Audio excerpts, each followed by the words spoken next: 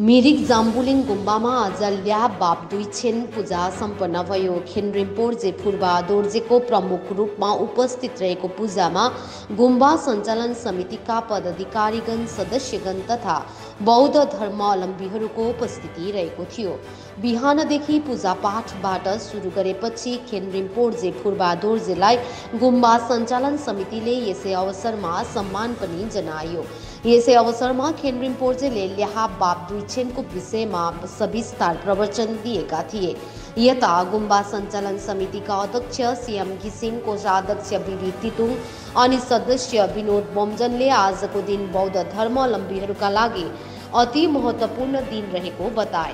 आजकै दिन भगवान बुद्धले आफ्नो स्वर्गीय आमालाई बोधि ज्ञानबारे जानकारी गराएको दिन साथ साथै बुद्धको बाह्रवटा लीलामध्ये एक रहेको जानकारी गराएका छन्। यता आज आफूहरूले विश्वभरि नै शान्तिले बास गरोस् भन्ने कामना गर्दै कोभिड जस्तो महामारीको कारण ज्यान गुमाउने स्वर्गीय आत्माहरू चिर शान्तिको कामना पनि गरे।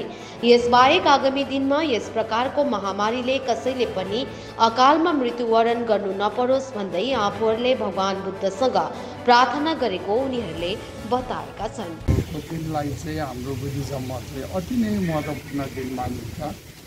र भगवान् बुद्धले चाहिँ बाह्रवटा लीलाहरू देखाउनु भएको थियो। त्यसमा आज चाहिँ यसलाई लाभा भनेर भनिन्छ है। ए उहाँको आमा चाहिँ म अब जन्मेको बित्तिकै मर्नु भएकोले गर्दा स्वर्गमा चाहिँ उहाँले यो बोधिसत्वको ज्ञान प्राप्त भएको थिएन।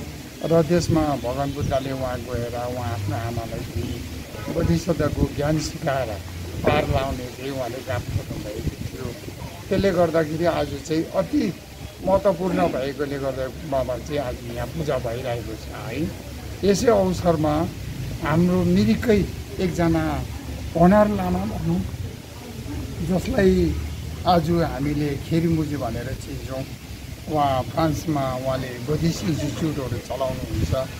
र उहाँ पनि आज आइदिएकोमा हामी समस्त बौद्ध प्रेमीहरूले गुम्बाको तर्फबाट एकदमै खुसी छौँ र उहाँको मुखबाट हामीलाई धेरै प्रकारको बौद्ध धर्मको ज्ञानहरू सिकाउनु भयो र यसरी ज्ञान दिएको छ। र हामीले पनि भविष्यमा केही गर्नुपर्छ।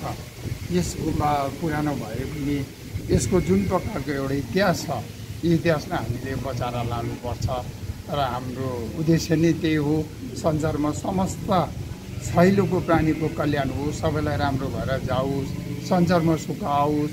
अहिले जो कोभिडमा मर्नेहरू हाम्रो आफन्तहरू छ उहाँहरूको आत्माले शान्ति पाओस्। फेरि फेरि यस्तो प्रकारको अकाल मृत्युहरू नराम्रोहरू नआओस् र संसारमा सुख शान्ति होस्। सबै मान्छेहरूलाई शान्तिजीले जिउनु पाओस्। भनिकन आज चाहिँ हामीले चाहिँ पूजापाठ गरेको हौँ है। र त्यसमा उहाँ आइदिएकोमा हाम्रो खेरीमुर्जी जम्बल लामा आइदिएकोमा हामी अति नै खुसी छौँ र उहाँको उद्देश्य पनि त्यही हो विश्वमा नै शान्ति होस् सबैलाई राम्रो भएर जाओस् भन्दै उहाँलाई आइदिएकोमा हामी धन्यवाद दिँदै र संसारको लागि चाहिँ राम्रो होस् सुस्वास्थ्य होस् छैलोको प्राणीलाई कल्याण होस् र पा मर्नेहरू पनि पार पाओस्। फेरि फेरि त्यस्तो अकाल मृत्युहरू नहोस् भनिकन चाहिँ हामी समस्त साङ्गेहरू संसारमा भएको समस्त देवताहरूलाई पुकार्दै यही हाम्रो चाहिँ आजको कार्यक्रम चाहिँ धन्यवाद।